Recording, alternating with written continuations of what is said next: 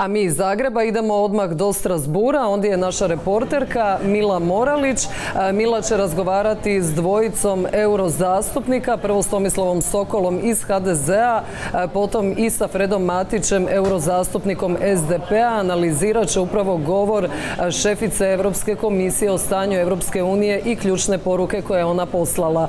Mila, dakle, koji su glavni naglasci?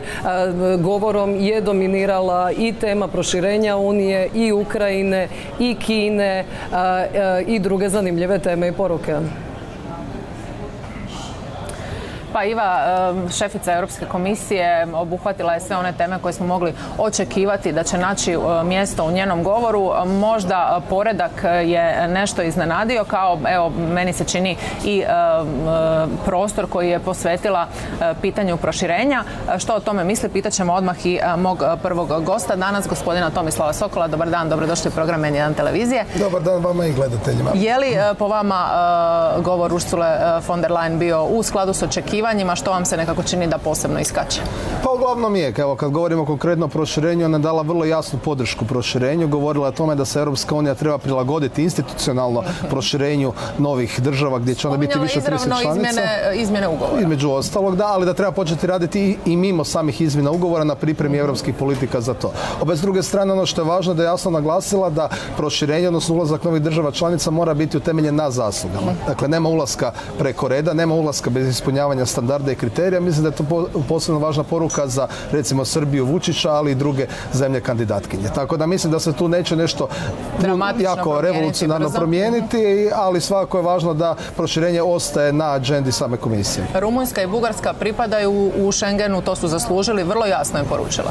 Komisija je uvijek podržavala ulazak Bugarske i Rumunjske u Schengen, nije bio nikad problem u komisiji nego pojedinim državama članicama. I zato je bilo izuzetno važno da je Hrvatska uspjela, to je velik uspjeh hrvatske diplomacije, da da se ne gleda u paketu, nego da se gleda individualno, isto kao kad smo ulazili u Europsku uniju, tako je sada kod ulaska u Schengen, goleme postignuće da je Hrvatska uspjela individualno ući, a ne se vezati uz druge države, jer da se vezalo uz druge države, ostala bi dan danas izvan. Mhm.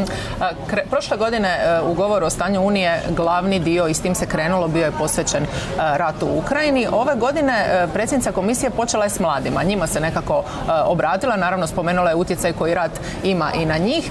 Međutim, mladim glasačima se posebno obratila. Dovodite li to u vezu sa početkom kampanje i onim što slijedi izbori iduće godine? Pa može biti, ali ne nužno. Mislim da je još prerano da se špekulira o tome. Činjenica je da će jako puno mladih dobiti pravo glasa i mislim da je jako važno da, da ih se prvo uopće motivira da izađu na europske izbore. Znamo da je za europske izbore generalno najmanja izlaznost od svih izbora, tako i kod nas u Hrvatskoj i ukoliko želimo promovirati važnost Europske unije kako za Hrvatsku, tako i za općenito naš svakodnevni život, mislim da je važno da se mladi što više motivira da izađu na izbore. Na kraju krajeva upravo su mladi ti koji imaju najveću koristi od svega onoga što donosi Europska unija. Od zajedničkog tržišta pa nadalje. E, u Hrvatskoj spustiti dobnu granicu na 16. Što, koje je vaše mišljenje? Što ja nisam generalno za to. Mislim da, da, je, da je važno da mladi u, formativnim godinama do kraja formiraju e, vlastitu osobnost i da, i da onda kada su već izgrađeni ljudi e, mogu sudjelovati u političkim procesima. Tako da mislim da je trenutna dobna granica ona koja je logična i koja nekako predstavlja taj limit nakon kojega se smatra da je osoba već dovoljno formirana, da može sudjelovati, da može donositi političke odluke, ali nije ista praksa u svim državama, neke su to već spustile, tako da tu svaka država odlučuje sama za sebe kako smatra sukladno svom nekakvom mentalitetu, kulturološkom okruženju, koja će biti ta dobna granica.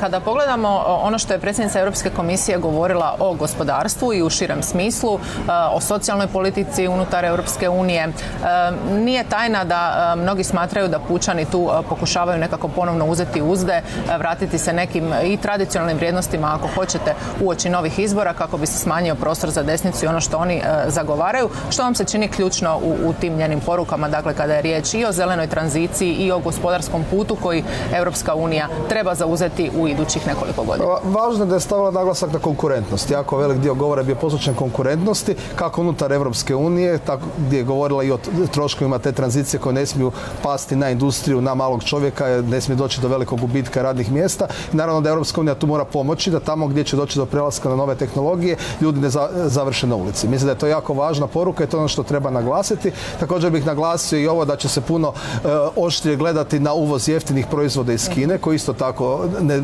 doprinose negativno zapravo samo europskoj industriji, ruše cijenu i onda europska industrija ne može njima konkurirati. Tako da mislim da su to neke vrlo važne poruke i da se Europa tu mora puno čvršće postaviti kako bi štitila vlastitu industriju, vlastito gospodarstvo, jer bez toga nema e, nastavka i, samog europskog načina života. Mhm. E, kada je riječ e, dalje o recimo pitanjima koja se tiču i umjetne inteligencije i inovacija i svemu onome što Europskoj uniji slijedi, posebno je isto tako naglašeno da će pitanje radne snage biti ključno u idućim godinama.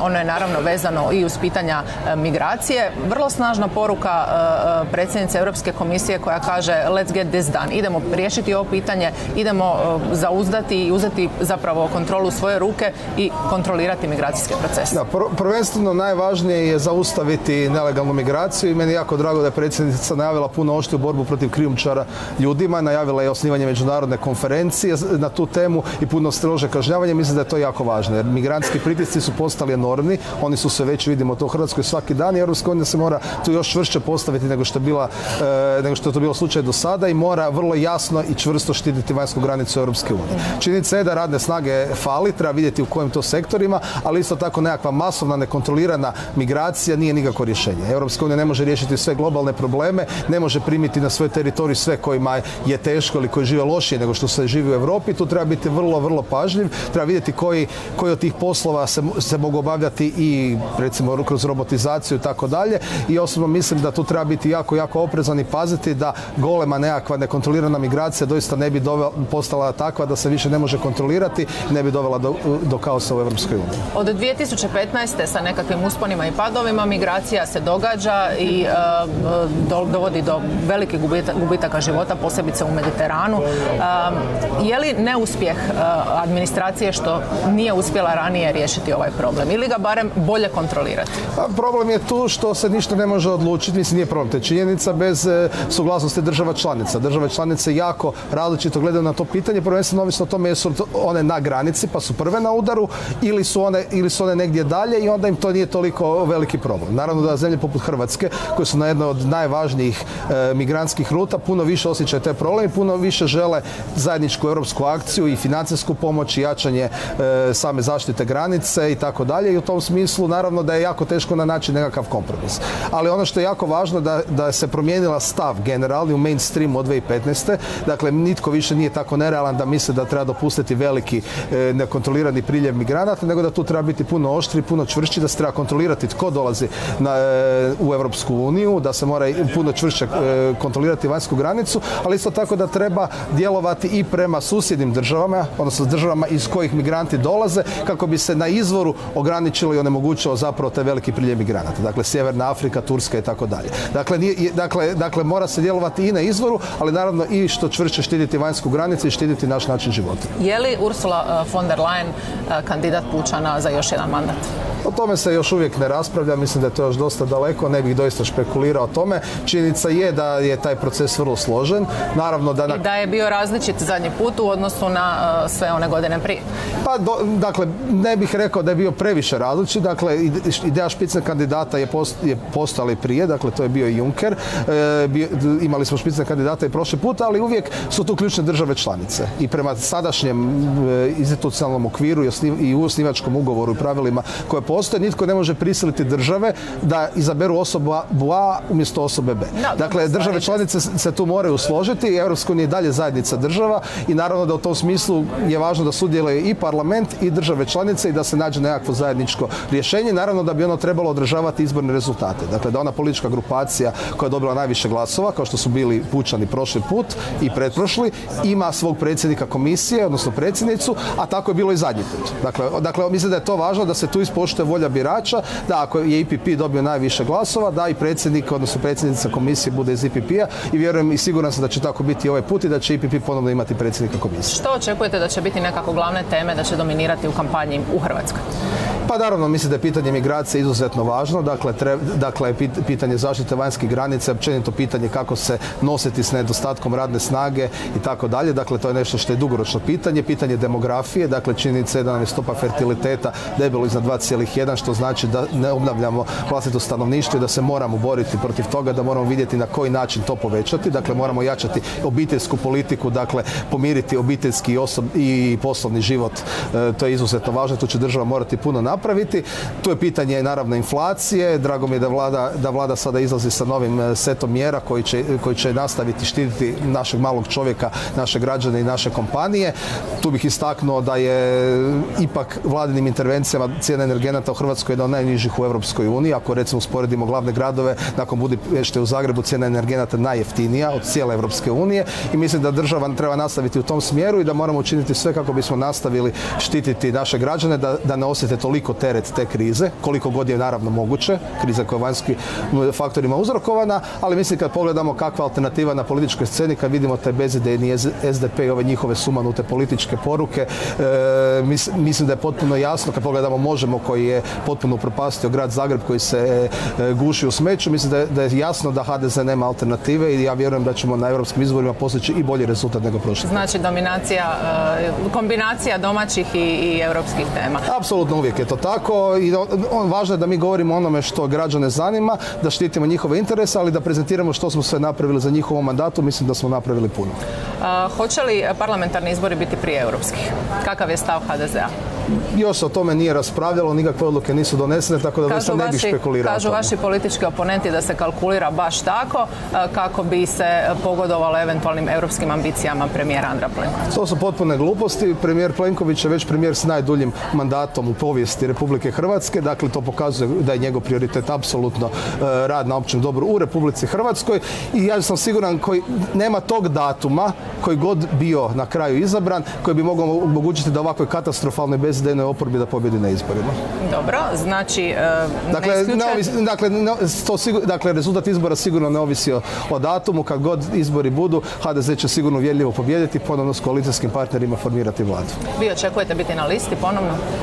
Ne bih doista sad ulazio to i špekulirao. Mislim da sam svojim radom za zaštitu potrošača, kroz borbu za e, višu kvalitetu zdravstvene zaštite kao koordinator IPP-a, kroz e, odbor za regionalni razvoj gdje smo se izborili da stopa sufinanciranja Europska ostane na 85%, da se ne spušta što je kakva pomoć našoj lokalnoj i regionalnoj samoupravi posebno. Mislim da sam kroz taj svoj rad dokazao da e, sam ovdje doista nešto i napravio i da sam radio na interesu hrvatskih građana. Evo jučer smo usvojili direktivu o potrošačkim kreditima za koje sam bio izvjestitelj IPP-a koja je podigla ljestvicu i standarde zaštite potrošača, tako da mislim da sam rezultate imao, a vidjet ćemo hoće li stranka to prepoznati, ja vjerujem da hoće. Htjela bih vas samo još pitati na kraju e, jednu temu koja je evo proteklih dana aktualna u Hrvatskoj, a tiče se e, jednog dijela intervjua koji je bivša predsjednica Kolinda Grabar-Kitarović e, dala BBC-u u kojem spominje hibridno djelovanje protiv nje u kampanji protiv Zorana Milanovića na predsjedničkim izborima. Jeste vidjeli tu izjavu, što vam se čini od toga? Pa vidio sam uglavnom naslove što se toga tiče. Je li to opasna stvar koja se događa u Hrvatskoj i na neki način, evo čak sad prvi put se javno govori i u predsjedničkim kampanjama? Pa to hibridno djelovanje sila, ne samo Rusije nego i nekih drugih sila u EU već je prisutno godinama i vidi se na razne načine, tako da to nije nešto što je pretjerano iznenađujuće, ali to je svako nešto e, što treba osvijestiti, što treba kontrolirati i protiv čega se treba boriti. Vjerujete da je tako bilo u predsjedničkoj kampanji? Teško mi je to reći, sve je moguće, ali svakako treba, treba vidjeti koje su to konkretne informacije, o čemu se doista konkretno radi. Gospodine Sokol, hvala vam lijepo na ovom razgovoru. Hvala vama. Evo čuli smo dakle razmišljanja i e, europskog zastupnika Tomislava Sokola.